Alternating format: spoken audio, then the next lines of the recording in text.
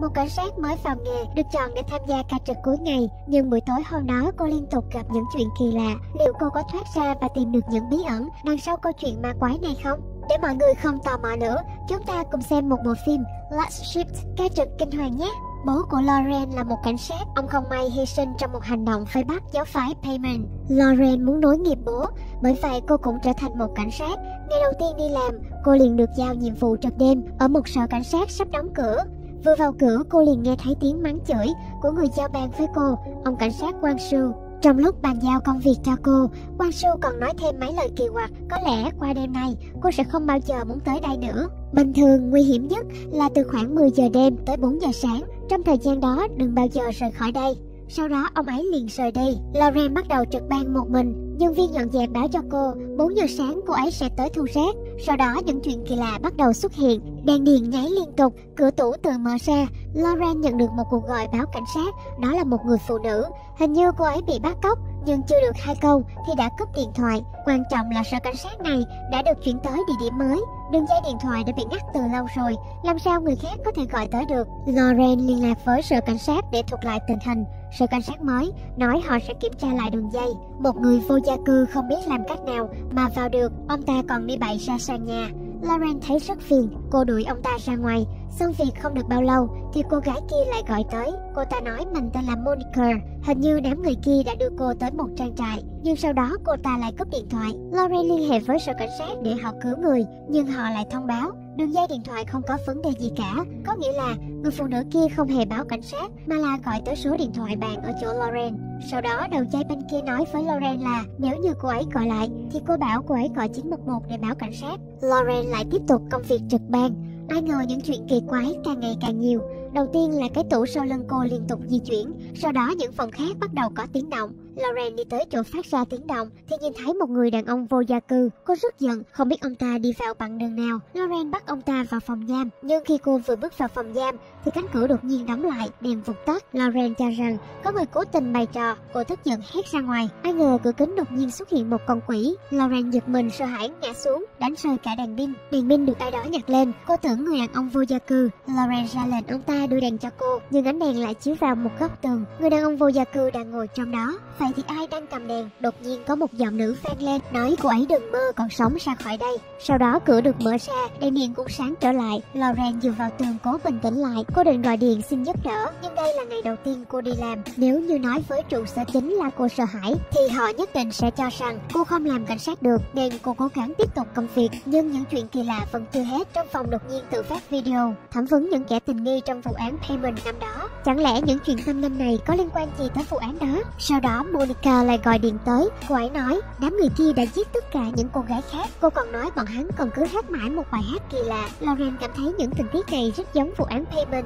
Cô nghi ngờ tín đồ chưa bị bắt của giáo phái đó bắt đầu gây án. Cô hỏi thông tin của Monica, sau đó báo cho cảnh sát để họ truy tìm manh mối. Một lúc sau, đồng nghiệp tên Donzi được phái tới. Donzi nói rằng mình trước kia là cộng sự của bố cô. Anh biết được Lauren trực ban ở đây nên qua xem thế nào. Anh ta còn kể cho cô nghe về vụ án Payment năm đó. Ba tín đồ của Payment bắt cóc và sát hại phụ nữ. Anh và bố cô xông vào cứu người. Dưới sự hỗ trợ của bố cô, anh đã cứu được bốn người. Nhưng những người còn lại, bao gồm cả bố cô và hai người cảnh sát khác đều mất mạng. Lauren nghe xong cũng rất đau lòng. Nancy cũng vũ cô mấy câu, liền chuẩn bị đi về. Nhưng anh ấy vừa quay người, cô lại nhìn thấy sau đầu anh ta có một lỗ thủng to. Lauren ngơ ngác không hiểu chuyện gì đang diễn ra.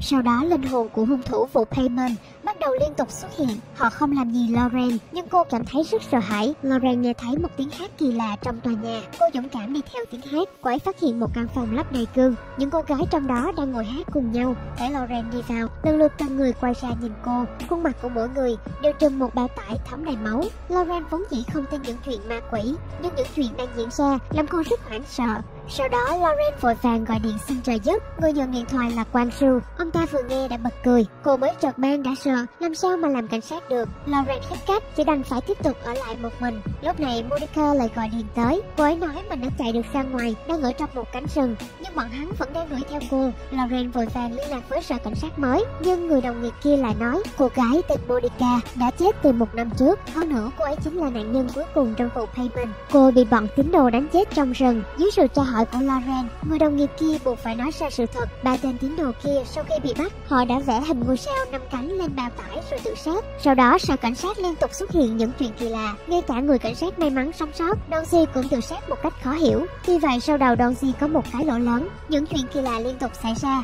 Mọi người không chịu được nên mới phải chuyển tới địa điểm khác. Lúc này, có một tấm ảnh bay từ hành lang vào. Phía ngoài là rất nhiều ảnh của những người đã chết trong vụ án Bayman. Có bố cô và Donzi.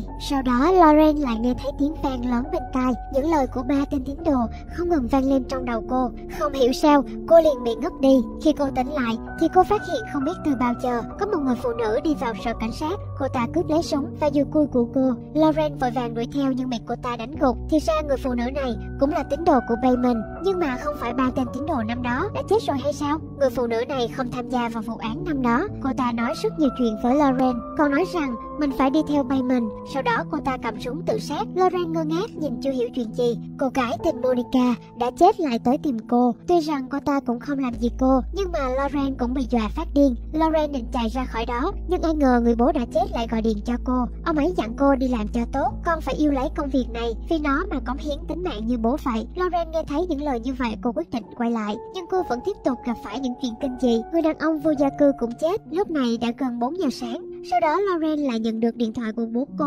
Ông ấy nói với cô, bọn hắn tới rồi, con phải ngăn bọn hắn lại. Lauren còn chưa hiểu chuyện gì xảy ra, thì đã có một đám người xông vào sở cảnh sát. Cô cũng nhanh chóng dùng súng bắn trả. Nghe những lời của đối phương, có lẽ bọn họ cũng là tín đồ của Bayman. Lauren tức giận đuổi theo giết hết bọn chúng. Nhưng khi cô vừa hạ tên cuối cùng, thì sau lưng có một tiếng súng nổ ra. Lauren gục xuống, không hiểu nhìn quan su. Thì ra từ nãy tới giờ đều là ảo ảnh. Những người cô bắn chết không phải là tín đồ của Bayman, mà là nhân viên dọn vệ sinh. Lauren không dám tin, rơi nước mắt. Đột nhiên cô bình tĩnh lại nhìn Quang Su. Trong đầu vang lên bài hát của Bayman. Lauren chết, mọi chuyện cũng kết thúc. Theo như Tofu lý giải, thì tên Bayman này là một con ma. Lauren đã bị nó ám. Nó nhất định phải giết chết cô. Nhưng nó lại không thể trực tiếp làm con người bị thương, nên nó tạo ra những ảo ảnh. Từng bước dẫn Lauren vào chỗ chết như là cuộc gọi của bố cô. Hiển nhiên, đó là do con ma gọi. Con ma làm cho cô tự sát như đông si. Ai ngờ cô lại không tự sát. Bởi vậy, nó phải dùng kế hoạch khác, đó là mượn tay Quan Su để giết cô. Ông ta cũng không phải người tốt, ba lần bốn lượt muốn Lauren ở lại đó.